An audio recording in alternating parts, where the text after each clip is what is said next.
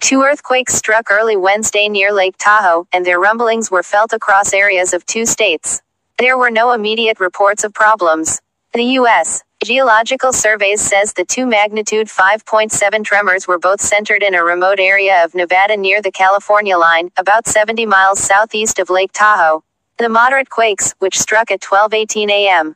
PST and then 4 minutes later, were followed by a series of smaller aftershocks. The Mineral County Sheriff's Department in Hawthorne, Nevada, near the epicenter, says staffers felt both quakes, but they have not had any reports of injury or damage. The office says the quakes apparently did trigger burglar alarms at two businesses and caused a rock slide that did not block a nearby highway. In addition to Lake Tahoe, the USGS says the quakes were felt in such areas as Carson City, Nevada, and Yosemite National Park and Mammoth Lakes in California, all roughly 60 miles from the epicenter.